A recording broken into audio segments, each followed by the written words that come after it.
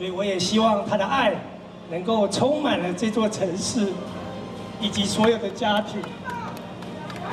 谈到信仰，忍不住哽咽。谢国良挺过罢免大进场时，满满国旗海上台，深深一鞠躬，这深锁的眉头总算能放轻松。今天的结果不是属于国良一个人的，是属于全体基隆市民。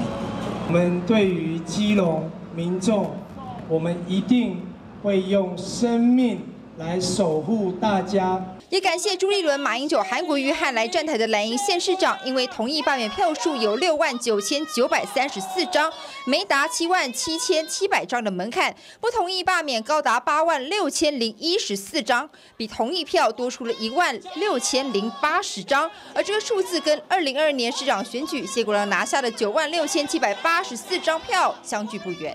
我也在这边跟大家来承诺。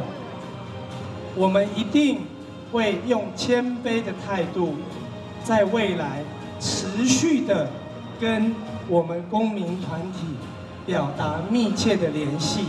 我在下周也会亲自的打电话给我们的罢免领衔人戴景安先生，亲自的去拜访他。另一头拆梁行动现场气氛低迷。那虽然结果并不是那么尽如人意。很抱歉让大家失望了，但是我觉得我们的声音已经被市长还有所有的全国人民被听见。有人甚至在台上拭泪。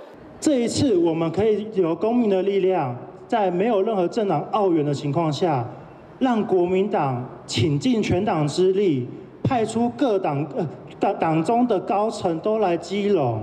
挺过罢免挑战，谢国良的市长宝座安稳到二零二六年。TVBS 新闻基隆采访报道。